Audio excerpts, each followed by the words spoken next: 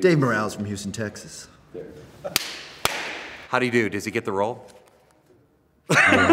Dave Morales from Houston, Texas. I think that's you get the role. Really?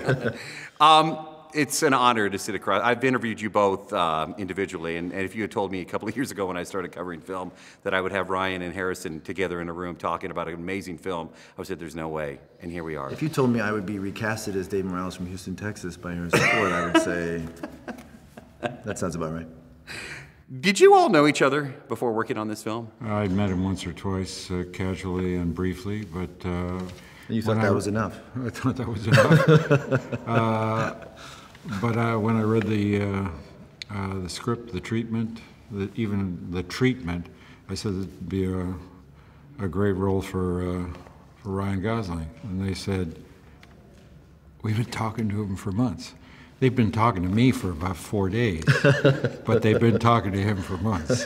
What made you decide to jump back into this role? Huh? A good script, a, a director I admire, co-stars that I thought would uh, give the whole thing strength, body and purpose. I like that. I agree. What is it about this story that drew you to it? There's a lot.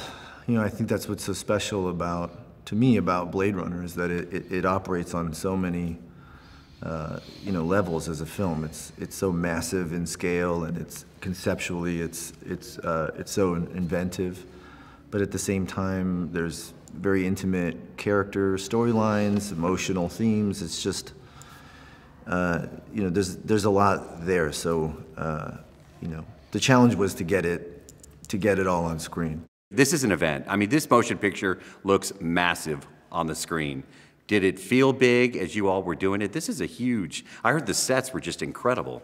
Yeah, but uh, I, you know, I, within that context, there's really a highly developed uh, story about uh, uh, humanity and and people who push back against uh, daunting circumstance and find love and connection and and uh, fulfillment or yearn for it, and that's the that's that's an important thing. So this scale is great unless the scale gets away from you, which it sometimes does when when uh, people fall in love with the computer, but and the you know special effects, the digital special effects.